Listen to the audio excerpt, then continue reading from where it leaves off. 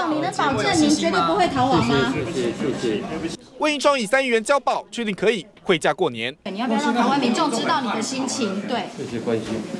魏英昌强调自己平常心面对裁定，低着头，脸上没有任何表情。根据转述，其实他心里不希望过年没办法和家人一起吃团圆饭。狱中是不是有写家书给您的孩孩孩子？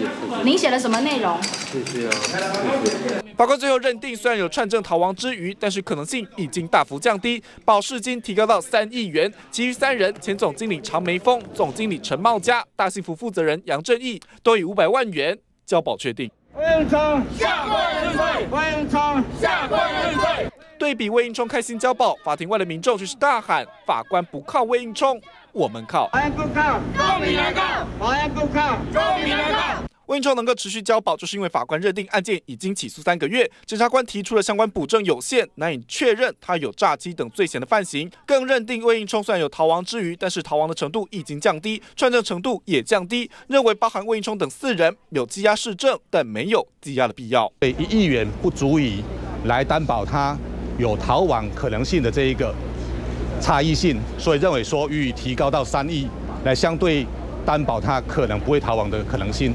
魏应冲获了交保，但这一天的法庭攻防可不轻松。延押庭从三号早上九点十分一开就是三小时又十分钟，原本预定下午两点十分就会宣布裁定结果，但评议却一直到下午的三点二十五分才结束。三点五十五分宣布四人可以交保，等同打脸高院决定。魏应冲获了不延押决定，但是交保金提高到三亿元，仅次于东森前总裁王丽玲掏空立办案遭收押时，当时交保金高达三点五亿。但这一次补缴的两亿元将会直接送到银行，不会再出现在地院。而魏应冲说过了爱台湾，也让他躲过延押可能，也确定能回家过农历年。记者张俊栋、韩志新、龚玉德 S N G 小组在彰化的采访报道。